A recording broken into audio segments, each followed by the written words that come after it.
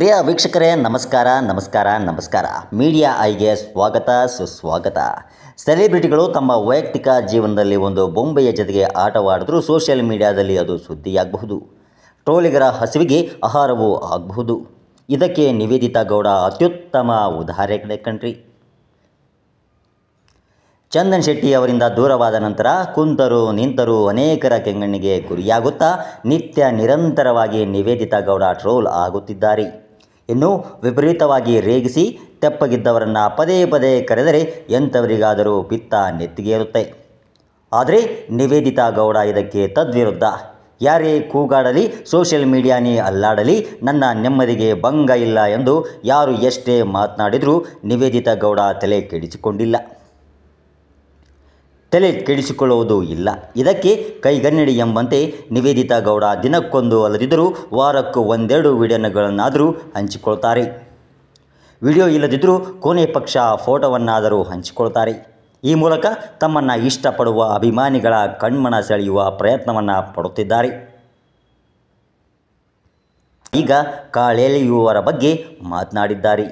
ಕೊಳಕು ಕಾಮೆಂಟ್ ಮಾಡುವವರಿಗೆ ಉತ್ತರವನ್ನು ಕೂಡ ನೀಡಿದ್ದಾರೆ ಕಂಡಿದ್ದಾರೆ ಮೊದಲಿಗೆ ನನಗೆ ಬರುವ ಕಮೆಂಟ್ಗಳನ್ನು ನಾನು ನೋಡುವುದಿಲ್ಲ ಎಂದಿರುವ ನಿವೇದಿತಾ, ಅಪ್ಪಿ ತಪ್ಪಿ ನೋಡಿದರೂ ಕೂಡ ಏನು ಮಾಡೋಕ್ಕಾಗಲ್ಲ ಎಂದಿದ್ದಾರೆ. ಎಲ್ಲರಿಗೆ ಅವರ ಅಭಿಪ್ರಾಯಗಳನ್ನು ವ್ಯಕ್ತಪಡಿಸಿದ್ದಾರೆ. ನಾವು ಎಲ್ಲರ ಬಗ್ಗೆ ಯೋಚನೆ ಮಾಡ್ತಾ ಹೋದರೆ ನಾವೇನು ಮಾಡಲು ಸಾಧ್ಯ ಆಗುವುದಿಲ್ಲ ಎಂದು ಹೇಳಿದ್ದಾರೆ ಕಣ್ರಿ. ನನಗೇನು ಇಷ್ಟ? ನನ್ನ ಖುಷಿಗೆ ಏನು ಮಾಡಬೇಕು? ನಾನು ಅದನ್ನು ಮಾಡ್ತೀನಿ.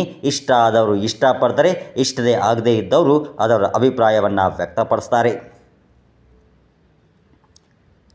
ಮುಂದುವರೆದು ತೀರಾ ಕೆಟ್ಟ ಕೊಳಕು ಕಮೆಂಟ್ ಮಾಡಿದರೆ ಅದು ಅವರ ಮನಸ್ಥಿತಿಯನ್ನು ತೋರಿಸುತ್ತೆ, ಅವರ ಸಂಸ್ಕಾರವನ್ನು ತೋರಿಸುತ್ತೆ ಎಂದಿರುವ ನಿವೇದಿತಾ ಗೌಡ, ಯಾರು ಯಾರಿಗೂ ನೋವು ಕೊಡಬಾರದು, ಆದರೂ ನೋವು ಕೊಡುತ್ತಾರೆ ಅಂದರೆ ಅದರ ಅವರ ವ್ಯಕ್ತಿತ್ವವನ್ನು ತೋರಿಸುತ್ತದೆ.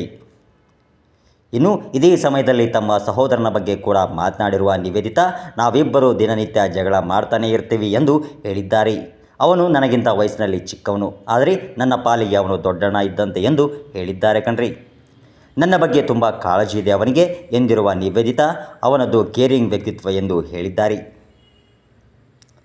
ಇನ್ನುಳಿದಂತೆ ಸದ್ಯ ನಿವೇದಿತ ಗೌಡ ಚಿತ್ರರಂಗದಲ್ಲಿ ಒಂದೆಡೆ ಹೆಜ್ಜೆ ಇಡುತ್ತಿದ್ದಾರೆ. ಮಾಜಿ ಪತಿ ಚಂದನ್ ಶೆಟ್ಟಿ ಜೊತೆ ಮುದ್ದು ರಾಕ್ಷಸಿ ಎಂಬ ಚಿತ್ರದಲ್ಲಿ ನಡೆಸಿರುವ ನಿವೇದಿತ ಗೌಡ ತೆಲುಗಿನಲ್ಲಿ ಒಂದು ಆಲ್ಬಮ್ ಹಾಡೊಂದರಲ್ಲಿ ಕೂಡ ಕಾಣಿಸಿಕೊಳ್ಳಲಿದ್ದಾರೆ. ತೆಲುಗಿನಲ್ಲಿ ವಾಲಾ ಕಳ್ಳದ ಹೆಸರಿನಲ್ಲಿ ಹೊರಬರಲಿರುವ ಈ ಹಾಡಿಗೆ ಕನ್ನಡದಲ್ಲಿ ಮನಸಾರೆ ನಿನ್ನ ಎಂದು ಹೆಸರಿಡಲಾಗಿದೆ. ಸೃಜನ್ ಲೋಕೇಶ್ ಜೊತೆ ನಿವೇದಿತ ಗೌಡ ಅಭಿನಯದ ಜಿ ಎಸ್ ಚಿತ್ರ ಸದ್ಯದಲ್ಲಿಯೇ ತೆರೆಗೆ ಬರಲಿದೆ. ಮಿಕ್ಕಂತೆ ನಿವೇದಿತ ಗೌಡ ಅವರಿಗೆ ಬೇರೆ ಬೇರೆ ಭಾಷೆಯಿಂದ ಕೂಡ ಅವಕಾಶಗಳು ಅರಸಿ ಬರುತ್ತಿವೆ.